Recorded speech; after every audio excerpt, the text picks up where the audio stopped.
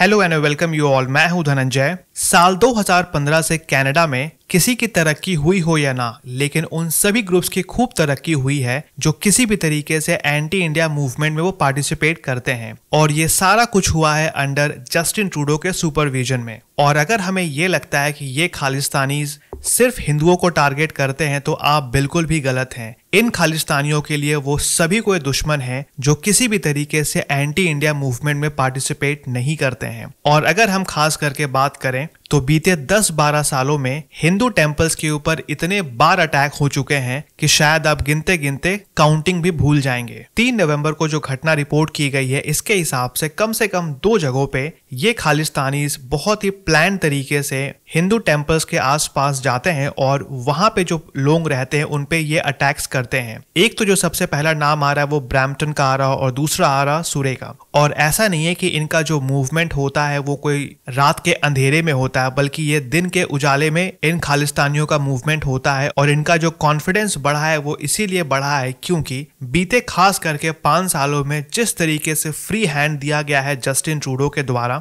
वो शायद इस बात को नहीं समझ पा रहे हैं कि अगर किसी भी तरीके से आप अपने बागीचे में अगर आप सांप को पालेंगे तो एक दिन ऐसा भी आएगा कि वो सांप आपको भी काटेगा। क्योंकि वहाँ पे अगले साल चुनाव होने वाले हैं और जो जस्टिन ट्रूडो की जो प्रेजेंट सरकार है, ये भी एनडीपी के द्वारा सपोर्ट की जा रही है। तो इसीलिए भी जस्टिन ट्रूडो के अंडर में ये सारे जो खालिस्तानी है, उनका बहुत ही अच्छे तरीके से डेवलपमेंट हुआ है। शॉकिंग बात शायद ये नहीं है कि खालिस्तानियों ने या एंटी इंडिया एलिमेंट्स ने श्रद्धालुओं के ऊपर अटैक किया। लेकिन जो सबसे डिस्टर्बिंग चीज़ है वो ये है कि जब जस्टिन ट्रूडो ट्वीट करते हैं तो इनके पूरे ट्वीट में कहीं पे भी आपको वर्ड खालिस्तानी मेंशन नहीं मिलता है। ये बताता है कि आज के डेट में जस्टिन ट्रूडो कितना ज़्यादा इन सब खालिस्तानियों को सपोर्ट करते हैं और इनके लिए जो सबसे प्राइम एजेंडा रह गया है आज के डेट में, वो यही है कि ये किसी भी तरीके से कैनेडा के प्राइम मिनिस्टर वो बने रहे। इनफैक्ट अगर आप बात करेंगे तो जो पुलिस के द्वारा एफआईआर दर्ज किया गया है, वहाँ पे भी किसी भी तरीके से वर्ड खालिस्तानी का मेंशन नहीं किया गया है, बल्कि वहाँ पे सिर्फ़ वर्ड प्रोटेस्ट या कुछ एक ग्रुप जैसा वर्ड को मेंशन किया गया है। तो कहने का मतलब है कि अगर किसी भी तरीके से कनाडा पुलिस शुरुआत के दिनों से ही अगर ऑब्जर्वेशन या जो एफआईआर वगैरह होता है, इसको अगर वो कमज़ोर तरीके से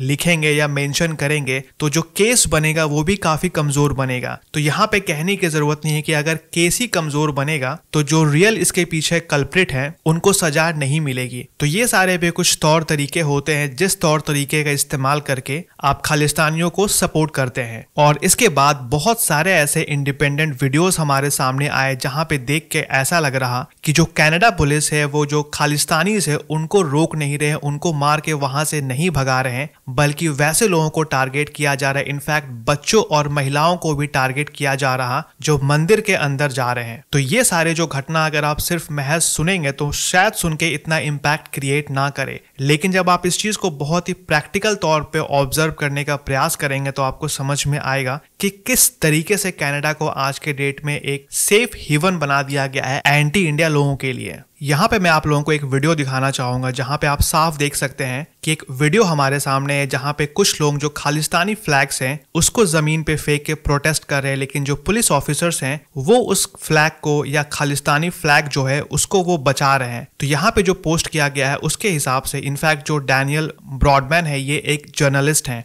तो इनका कहना है कि आप बहुत ही आसानी से कनाडा के फ्लैग को आप जला सकते हैं इसराइली फ्लैग को जला सकते हैं, इंडियन फ्लैग को जला सकते हैं, लेकिन अगर किसी भी तरीके से कनाडा पुलिस के सामने आप खालिस्तानी फ्लैग को जलाते हैं तो ये चीज़ एक्सेप्ट नहीं होता है। कनाडा पुलिस के द्वारा। तो यहाँ पे भी कहने की ज़रूरत नहीं है कि आज के डेट में किस तरीके से कनाडा पुलिस खालिस्तानियों के लिए काम कर रहे हैं। तो इन सब चीज़ों को अगर आप देखेंगे तो आपको बहुत ही साफ़ तरीके से समझ में आ जाएगा कि आज के डेट में कनाडा क्यों एक सेफ़ हिवन बना हुआ है एंटी इंडिया एलिमेंट्स के लिए। और जो तीन तारीख को हिंदू टेम्पल्स के आसपास जो अटैक किए गए खालिस्तानियों के द्वारा, ऐसा नहीं है कि उस वक्त सिर्फ़ हिंदू ही उस मंदिर के प्रमाइसिस में अवेलेबल थे, बल्कि इंडियन काउंसिलेट के द्वारा वहाँ पे काउंसलर कैंप को लगाया गया था। इसका मतलब ये होता है कि वैसे सभी इंडियंस जिनके पास आज के डेट में कैनेडियन सिटीजनशिप नहीं है, वो अपने डॉक्यूमेंट को वहाँ पे जाके वेरीफाई करवाएँगे और किसी भी तरीके से अगर उनका कोई भी डॉक्यूमेंट अगर लैप्स हो गया है तो जो हमारे गवर्नमेंट के रिप्रेजेंटेटिव है, वो वो उसी हिसाब से उनको गाइड करेंगे। तो जब आप किसी भी देश में रह रहे हैं तो आपके पास वैलिड डॉक्यूमेंट्स होने चाहिए। अगर आप इस फ़ोटो को बहुत ही गौर से देखेंगे तो आपको समझ में आएगा कि हर एक बुज़ुर्ग के साथ आपको एक यंगस्टर देखने को मिलेंगे। और साथ में आपको ऐसे नहीं, आपको मल्टीपल ऐसे आपको फ़ोटोज़ वीडियोस दिख जाएँगे जहाँ पे आप साफ़ देख सकते हैं कि जो मेजोरिटी ऑफ़ लोग हिंदू टेंपल में उस दिन थे, वो सिख थे।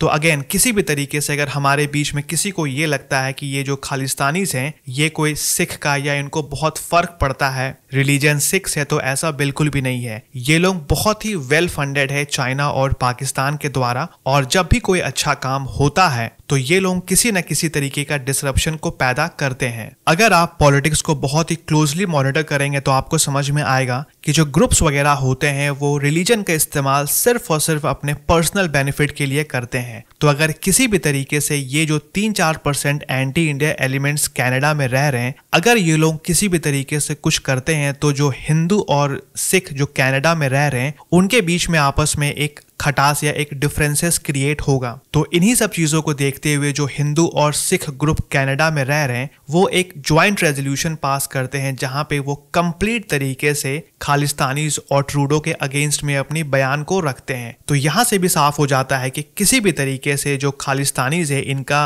रिलीजन से कोई ताल्लुक नहीं है। ये सिंपली अपने पर्सनल एजेंडा को पुश कर रहे हैं। और साथ में हमारे सामने कुछ ऐसे भी पुलिस ऑफिसर्स आए जो खालिस्तानियों को सपोर्ट कर रहे हैं। तो जैसे ही ये सारे न्यूज़ वीडियोज़ के फॉर्म में या पिक्चर्स के फॉर्म में आते हैं तो वैसे ही गवर्नमेंट ऑफ़ कैनेडा को बस दिखाने के लिए कुछ एक्शंस लेने होते हैं। तो ये सारे जो तीन चार पुलिस ऑफिसर्स होते इनको सस्पेंड कर दिया गया। और जब पिछले साल हरदीप सिंह निज्जर का असैसिनेशन किया गया था तो बढ़ चढ़कर गवर्नमेंट ऑफ़ इंडिया और हमारे एजेंट्स को कसूरवार ठहराया गया था। लेकिन उस वक्त भी बहुत सारे ऐसे इंडिपेंडेंट रिपोर्ट्स आ रहे थे, जहाँ पे बताया जा रहा था कि हरदीप सिंह निज्जर के बहुत सारे आपके इलीगल एक्टिविटीज़ थे। और ये लोग अपने इलीगल एक्टिविटीज़ को छुपाने के लिए जो गुरुद्वारा होता है या रिलीजन होता है, उसका इस्तेमाल करता है। तो मेजरली यही देखा जाता है कि किसी भी पुराने या फ़ेमस जो गुरुद्वारे होते हैं, वहाँ पे पोस्ट होते हैं तो उस पोस्ट के लिए भी आपको चुनाव लड़ने होते हैं। तो किसी भी तरीके से अगर आप किसी भी रिलीजियस प्लेस का एक स्ट्रांग पोजिशन को होल्ड करते हैं तो बाय डिफ़ॉल्ट आपके पास पावर ट्रांसफ़र हो जाता है। तो यहाँ पे जो समझने वाली बात है, वो ये है कि जो खालिस्तानी है उनका किसी भी तरीके से